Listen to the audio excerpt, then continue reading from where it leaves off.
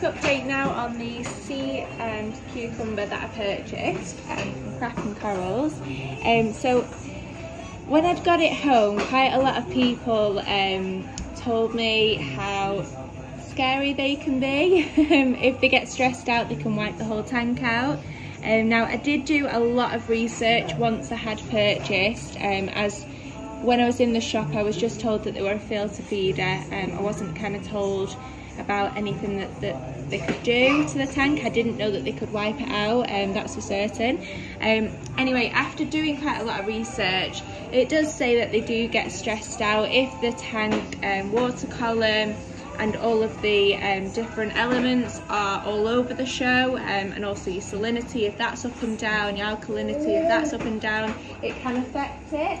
Um, however, my tank's quite stable now and I am testing really regularly um, and everything seems fine. This sea cucumber's been in here now for maybe two weeks um, and I've had no problem with it. It is sat in that exact same spot for the full two weeks and just now and again, um, probably on and off throughout the day and um, these little the top of the head comes out um, stalks I want to say. And they come out and that's how it feeds. And then they'll go back in again and then as soon as it can um, sense food it will pop back out again and just continuous feeding throughout. It does tend to come out a lot more during the night time. Um, I guess in the water columns a lot easier for them at night time.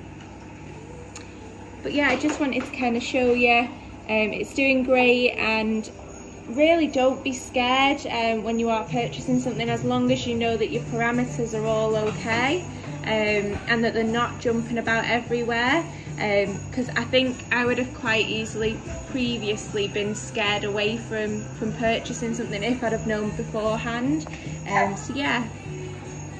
Thanks guys. Any questions just um, pop them in the comments bar